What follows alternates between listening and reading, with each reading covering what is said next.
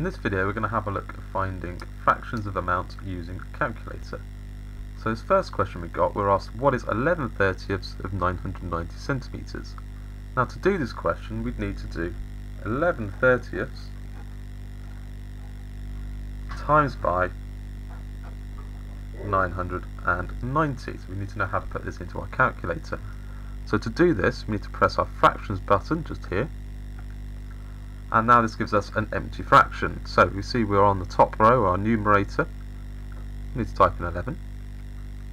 And then we press the down key, and that gives us our denominator, we of course type in 30. Now if we press our right key, takes us out of the fraction, and we can type in the rest of our question here, so times 990,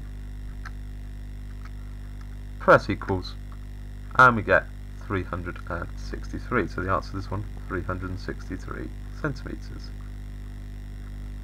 Our next question, we're asked what is 7 thirtieths of 840 centimetres. So again, we've got to do the same sort of thing. We've got to do 7 thirtieths times by 840. So we need to type this into our calculator. Again, press this fraction button gives us our empty fraction.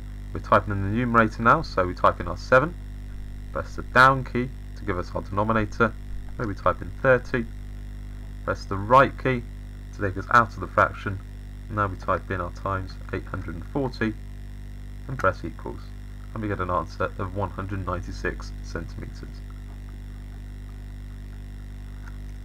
And that's how we find our answers.